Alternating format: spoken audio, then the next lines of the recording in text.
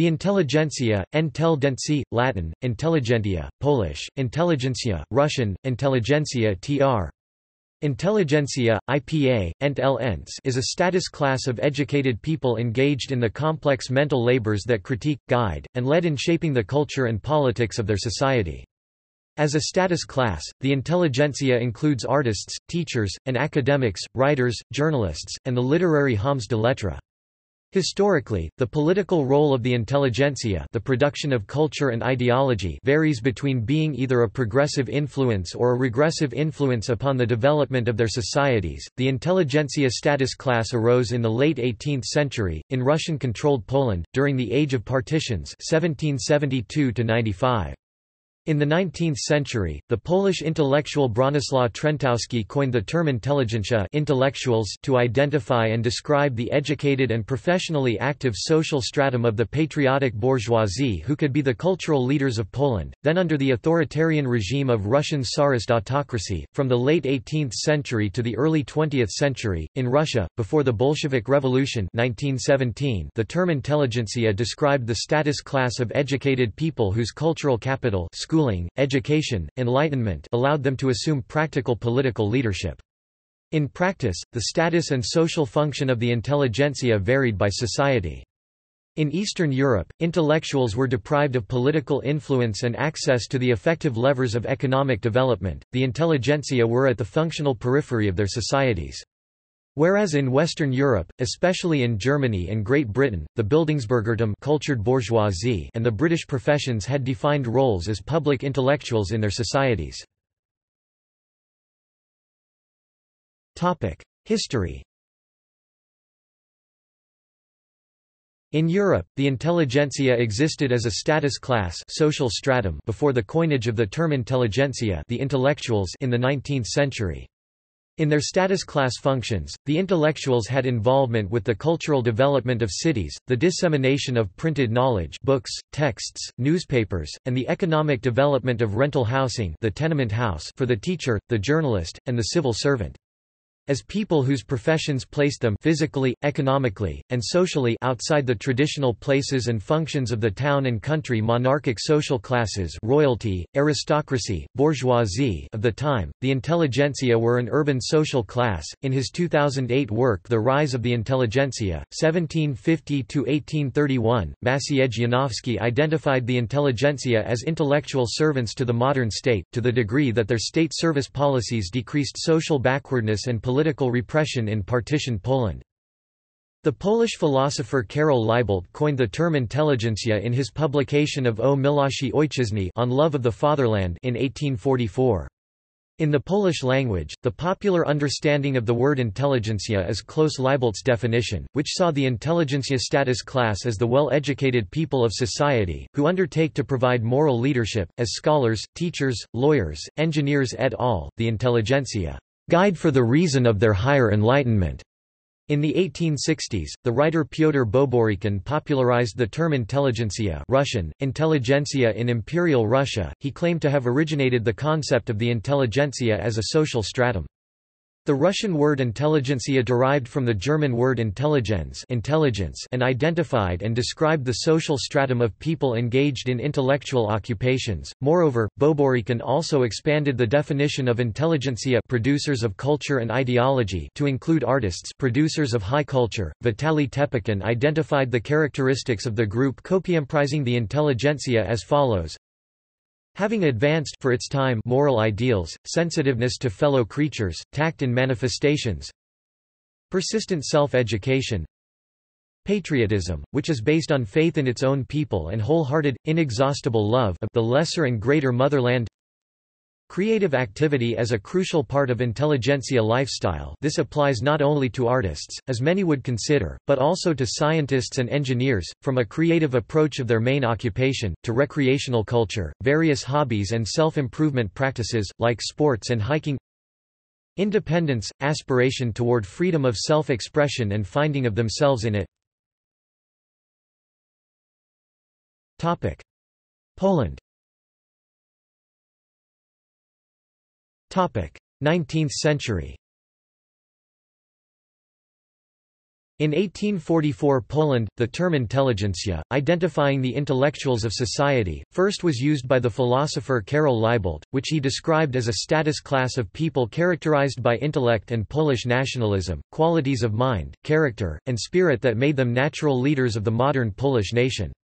That the intelligentsia were aware of their social status and of their duties to society, educating the youth with the nationalist objective to restore the Republic of Poland, preserving the Polish language, and love of the fatherland. Nonetheless, the writers Stanislaw Brzozowski and Tadeusz Boy Żeleński criticized Libelt's ideological and messianic representation of a Polish republic, because it originated from the social traditionalism and reactionary conservatism that pervade the culture of Poland, and so impede socio-economic progress.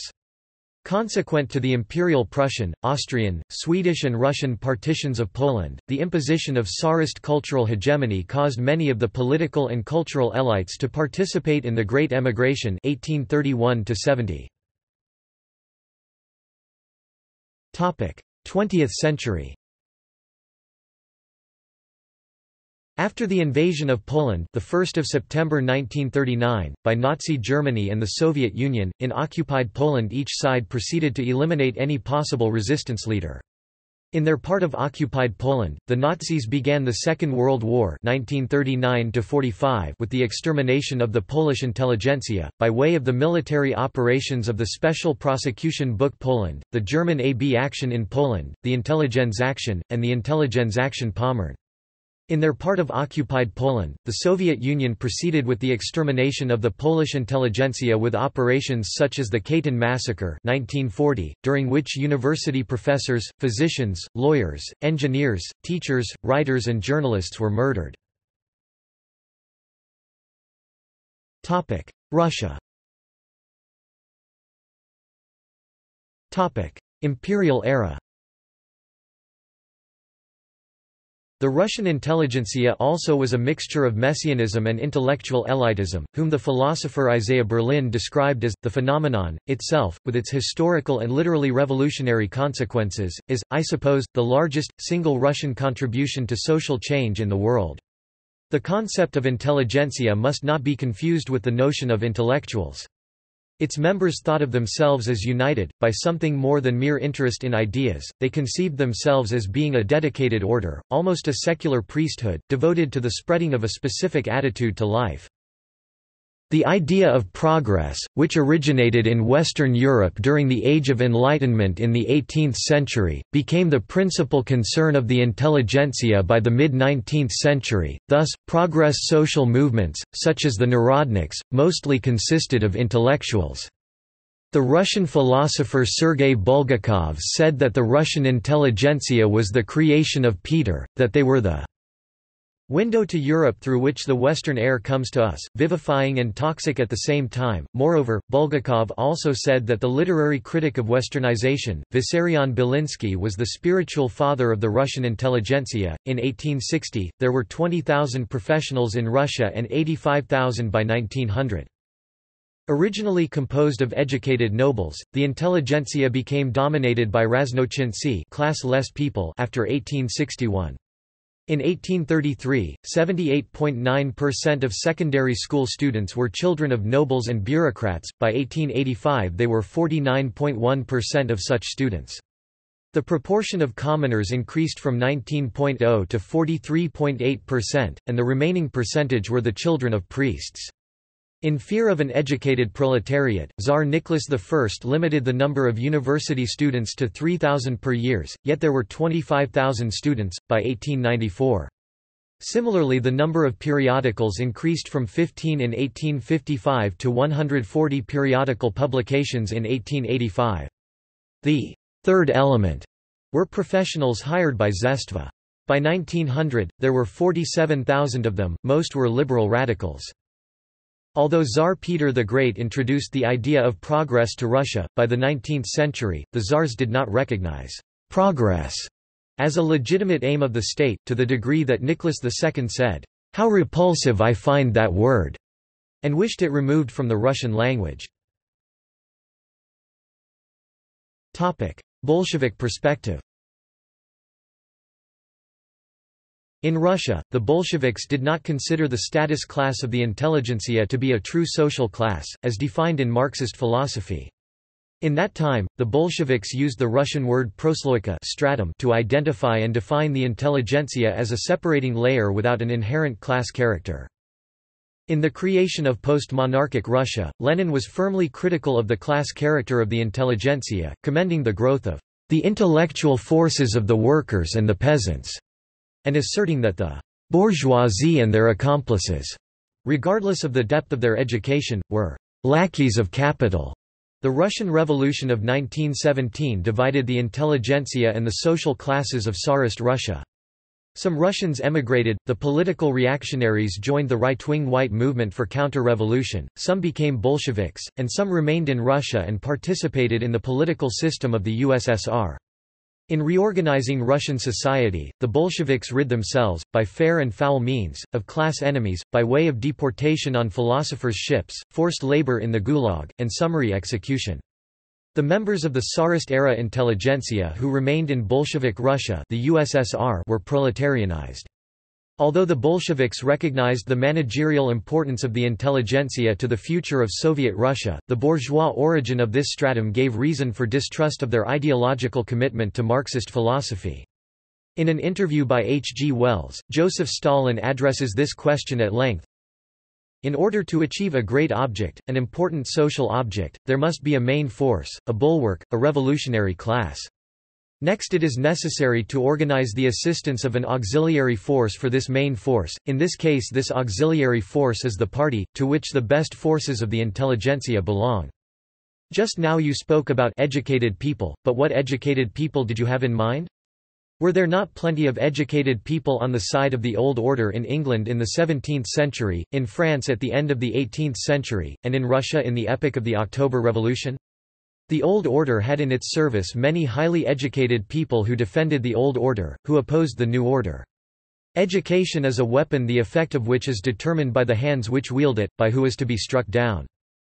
Of course, the proletariat, socialism, needs highly educated people.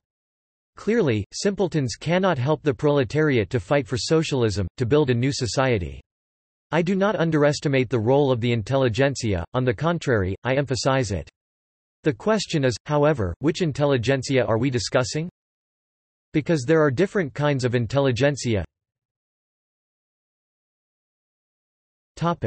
Soviet Union The Soviet intelligentsia arose from the ideological commitment of the communist government for the education professional, scientific, technical of Russia. Initially, the status class form of the technocrat intelligentsia was undefined, hence, as a measure of employability, the Russian bureaucracy classified the mental labor of professionals, scientists, and artists as was classified the physical labor of proletarian workers. So classified, the intellectuals were formally consolidated into intellectual worker trade unions, such as the Union of Soviet Writers and the Union of Soviet Composers, and given strict standards for evaluating their work, enforced by the corresponding expert boards. In the late Soviet Union the term, intelligentsia, acquired a formal definition of mental and cultural workers. There were subcategories of scientific technical intelligentsia, Nakhno-Tenayskaya intelligentsia and creative intelligentsia, Tvorcheskaya intelligentsia. The approach to intelligentsia was varying, for example, scientists were kept in check by ideological sections of their universities and, if doing sensitive research, were restricted both territorially and socially to so-called closed institutes, with top-secret clearance or even closed cities, that gathered such scientists in remote research and development campuses. Artists, on the other hand, weren't contained physically, but any release, publication or performance needed to go through union evaluation. Their means of production, from printing presses to film labs, were strictly regulated and centralized. Therefore, the Soviet Union was able to allow the natural creative process crucial for the nation's survival to continue, but at the same time didn't allow for any official and ideological authority for the intellectual class on its own, as a social class. Topic: Technical intelligentsia. Between 1917 and 1941, there was a massive increase in the number of engineering graduates, from 15,000 to over 250,000. Post-Soviet period In the post-Soviet period, the members of the former Soviet intelligentsia have displayed diverging attitudes towards the communist regime. While the older generation of intelligentsia has attempted to frame themselves as victims, the younger generation, who were in their 30s when the Soviet Union collapsed, has not allocated so much space for the repressive experience in their self-narratives. Since the collapse of the Soviet Union, the popularity and influence of the intelligentsia has significantly declined. Therefore, it is typical for the post-Soviet intelligentsia to feel nostalgic for the last years of the Soviet Union perestroika, which they often regard as the golden age of the intelligentsia. Putin Vladimir Putin has expressed his views on the intelligentsia and their social duty. We should all be aware of the fact that when revolutionary—not evolutionary Changes come, things can get even worse. The intelligentsia should be aware of this. And it is the intelligentsia specifically that should keep this in mind and prevent society from radical steps and revolutions of all kinds. We've had enough of it. We've seen so many revolutions and wars. We need decades of calm and harmonious development. Usages Derived from the Russian cultural concept, the word intelligentsia entered the languages of Europe, in English usage. Intelligentsia identifies the intellectual status class in the countries of Central Europe e.g. Poland and Eastern Europe e.g. Russia in the 19th and 20th centuries. A narrower term intellectuals, according to Pierre Bourdieu, can be applied to those members of intelligentsia who not only work using their intellect, but also create cultural wealth. The emergence of elite classes of intellectuals or well-educated people had been observed in other European countries e.g., intellectuals in France and Gebildet in Germany, in contemporary usage, the denotations and connotations of the term intelligentsia include the intellectuals and the managerial middle class whose professional and societal functions are the creation, distribution, and application of knowledge throughout society. The sociologist Max Weber defined the intelligentsia as a major social category, status class, which is essentially distinct in their social function, political attributes, and national interests from the other social categories of society. In Economy and Society, an outline of interpretive sociology Weber used the term intelligentsia in chronological and geographical frames of reference, such as, "...this Christian preoccupation with the formulation of dogmas was, in antiquity, particularly influenced by the distinctive character of intelligentsia, which was the product of Greek education." Mass intelligentsia in the 20th century, from the status class term intelligentsia, sociologists derived the term mass intelligentsia to describe the populations of educated adults, with discretionary income, who pursue intellectual interests by way of book clubs and cultural associations, etc. That sociological term was made popular usage by the writer Melvin Bragg, who said that mass intelligentsia conceptually explains the popularity of book clubs and literary festivals that otherwise would have been of limited intellectual interests to most people from the middle class and from the working class. In the book Campus Power Struggle 1970, the sociologist Richard Flacks addressed the concept of mass intelligentsia. What Karl Marx could not anticipate, was that the anti-bourgeois intellectuals of his day were the first representatives of what has become, in our time, a mass intelligentsia, a group possessing many of the cultural and political characteristics of a social class in Marx's sense. By intelligentsia I mean those people engaged vocationally in the production, distribution, interpretation, criticism, and inculcation of cultural values. See also Academia. Anti-intellectualism. Philippine Ilustrado Creative class. Obrazovanshchina Organic intellectual. Topic. References.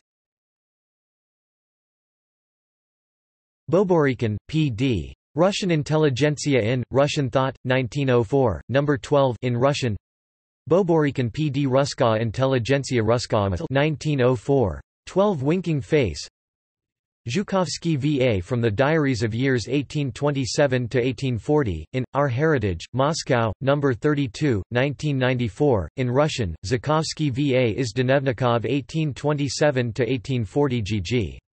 Nace Nazaldi. M. 1994. 32. The record dated by February 2, 1836 says, Saras tri kasa pozil adago obsego bedstvia osvetilsa velikolepnij enhelgartov dom i k nemu patanaliskarati vis napolneni luksim peterburgskim dvorenstivam tem kotori u nas predstavlo visu rusku evropesku intelligenciu. After three hours after this common disaster, the magnificent Engelhardt's house was lit up and coaches started coming, filled with the best Peterburg Dvorianstvo, the ones who represent here the best Russian European intelligentsia.